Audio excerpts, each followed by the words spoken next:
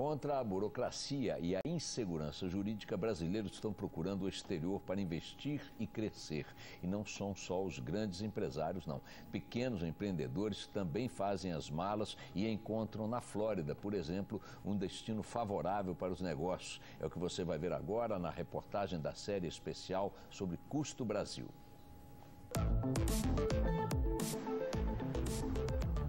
Aquela velha história, as coisas não andam nada bem, ou está tudo errado, vou começar uma vida nova fora? Foi por causa desse dilema que a gente fez essa parada aqui na Flórida, nos Estados Unidos. Um dos locais mais procurados por empresários brasileiros para abrir os seus negócios.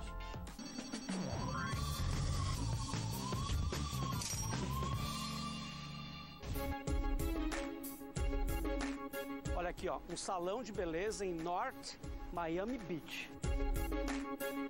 Este aqui é o Emerson. Em 2015, ele resolveu abrir esse salão de beleza aqui porque ele recebeu muito incentivo do governo americano você poder investir num país que está sempre crescendo, saiu de uma crise em 2008 e eles vêm crescendo, crescendo, crescendo, não teve alternativa. Eu vim, joguei tudo pronto e vim embora. Emerson encontrou segurança e previsibilidade para investir. Aplicou cerca de 2 milhões de reais no negócio. Hoje tem 18 funcionários, 8 são brasileiros.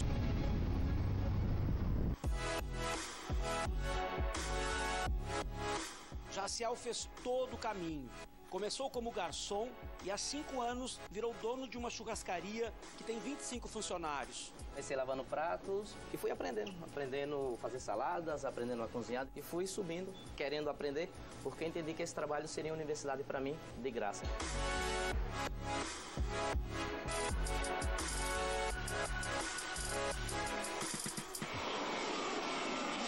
De Miami vamos para Chicago. Pegamos carona com o Fabiano, que é de Barretos, interior de São Paulo.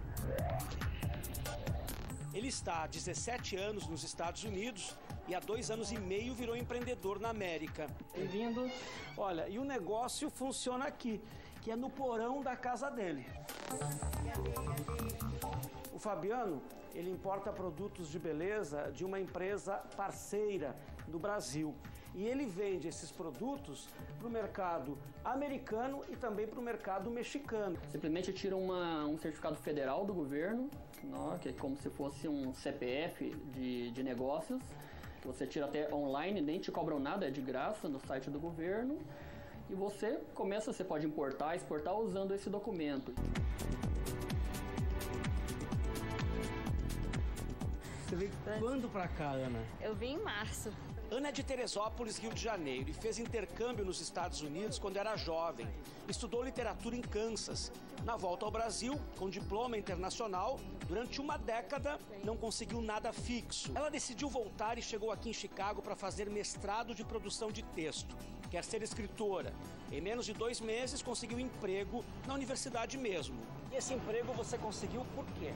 Ah, porque eu entrei no site da própria universidade, né, te dá essa, esse recurso. Eles te ajudam desde preparar uma carta de apresentação, currículo, se preparar para entrevista. Deixamos a Ana no trabalho dela para voltar para a Flórida, onde já tem mais de 400 mil brasileiros. Aventura. Esta cidade fica aqui na Grande Miami quem vem para cá não vem para se aventurar, não. Vem com foco, vem pensando em investir onde tem menos burocracia. O empresário brasileiro hoje, diante dessa economia que a gente vive, dessa legislação totalmente insegura que a gente vive, ele está desesperado, ele quer ir embora. O Daniel Toledo é especialista em direito internacional. Ele tem uma equipe para auxiliar empresários que querem começar negócios em Portugal, na Espanha e Estados Unidos. Aqui na Flórida, em dois dias se abre uma empresa e em dez dias sai o número do registro que corresponde ao CNPJ no Brasil. A pequena e média empresa é o que estrutura toda a economia de um determinado país. Ele é o que gera, ele é o gerador de emprego, ele é o gerador de tributo, ele é o gerador da economia. Os Estados Unidos têm essa super proteção com o pequeno e médio, tirando alguns tributos, facilitando algumas linhas de crédito e acesso a essas linhas de crédito para ele.